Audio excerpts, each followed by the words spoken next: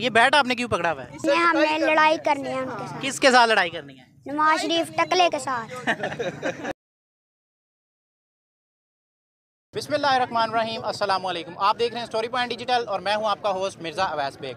नाजरीन जिस तरह आप सब जानते हैं कि इमरान खान साहब को डिसक्वालीफाइड कर दिया गया है इलेक्शन कमीशन की जानब से इस बार मुल्क भर में जो है वो एहतजाज जारी है। वक्त शहीन चौक में मौजूद हूँ और यहाँ पर पी टी आई की खवतिन भी हमारे साथ मौजूद हैं बच्चे भी मौजूद हैं और बड़ी तादाद में कारकुन भी जो हैं उन्होंने यहाँ पर एहतजाज किया है। लाहौर और इस्लामाबाद की तरफ़ जाने वाली ट्रैफ़िक जो है वो मुकम्मल तौर पर ब्लॉक है। लोगों को क्लियर एक चीज़ पता चल गई है कि चंद लोगों ने चंद लोगों को बचाने के लिए पूरे मुल्क को मफलूज कर दिया पूरा सिस्टम देख लें, चंद लोगों को बचाने के लिए ना इस मुल्क में कोई कानून है, ना इस मुल्क में कोई अदारा है, ना इस मुल्क में कोई एक्शन है, ना इस मुल्क में कोई रूल ऑफ़ लॉ है, ना इंसाफ है, ना कुछ है। सिर्फ़ चंद लोगों को बचाने के लिए।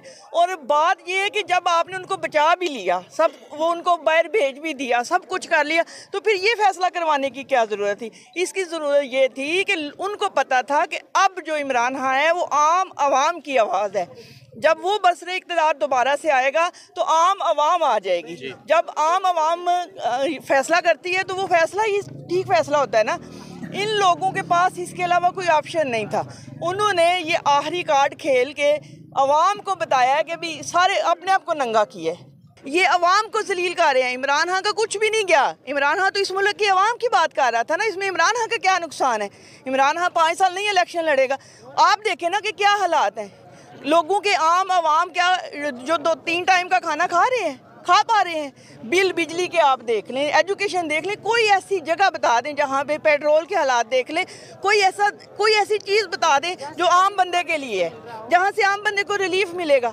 मिलेगा, अगर हमारे यहाँ कोई बंदा एक रोटी चोरी करता है तो उसको पुलिस पकड़ के ले जाती है तो उन्होंने तो मुल्क को नोच खाया है। तो उनको वो आराम से उन्होंने बाहर भेज दिया है। और अब जो इस मुल्क की बात करने वाला था जिसने इस मुल्क में रहना था जिसने हमेशा अपनी सारी ज़िंदगी इस मुल्क की आवाम के लिए स्ट्रगल की है उसको ये इस तरह कर रहे हैं। तो ये ये जो कर रहे हैं ये असल में इमरान खान के साथ नहीं कर रहे। ये असल में हम हम जैसे आम लोगों के साथ कर रहे हैं। जी नाजरीन आपने आ, मैडम नूरीन जो कि पीटीआई की यहाँ पर आ, जो है वो सीनियर मेंबर हमारे साथ मौजूद हैं एडिशनल जनरल सेक्रेटरी पंजाब वो वुमेन विंग की। उनसे बात करते हैं। मैडम कैसा देख रही हैं इलेक्शन कमीशन के फैसले को? किस नज़र से देख रही हैं? जी यकीन माने मैं तो बहुत अपसेट हुई हूँ, बहुत डिप्रेस हुई हूँ। लेकिन हम अल्लाह की रज़ा के आगे हम लोग मुसलमानों का यकीन है कि जो भी होता है अल्लाह ताला की तरफ़ से होता है और जो होता है वो हक और सच के लिए होता है। इसमें भी हो सकता है अल्लाह ताला की तरफ़ से कोई खान साहब के लिए बेहतरी हो। और वो बेहतरी क्या है जो मैंने महसूस की? वो ये बेहतरी है कि कुछ इदारे पहले ही एक्सपोज हो चुके थे। अब इलेक्शन कमीशन रह गया था तो वो अल्लाह ताला ने एक्सपोज करना था। वो भी इदारा आइन और कानून के तहत सही फैसले करेगी, पीटीआई उसको एक्नॉलेज करती रही है, करती रहेगी। और जो यानी कि फ़ैसले आइन से मुतसादम होंगे या कुरान हदीस से मुतसादम होंगे तो ना पाकिस्तानी अवाम उनको एक्सेप्ट करेगी और ना ही हम लोग तहरीक इंसाफ का नाम ही इंसाफ है। तो हम लोग अगर इंसाफ की इस तरह धजियाँ उड़ाते हुए इलेक्शन कमीशन के थ्रू और जजेस के थ्रू देखेंगे तो फिर अवाम ने तो अपने आप देख लें, अवाम निकली आधे घंटे के बीच में निकली आई है। तो ये छोटे छोटे जो बच्चे खड़े हैं ये पाकिस्तान का मुस्तबिल है। तो खुदा इन इन बच्चों पे इनकी शक्लें देखें, इनकी मासूम शक्लें। आप अपने बच्चों को देखें और इनकी शक्लें देखें। तो आपको आपको खौफ खुदा नहीं, आपकी रूह नहीं कांपती। आपको दर्द नहीं आता एक रत्ती के बराबर भी आप में इंसानियत नहीं रही। मैं जरदारी साहब से पूछूँगी, मैं नवाज़ शरीफ से पूछूँगी, मैं मरियम का नाम मरियम है।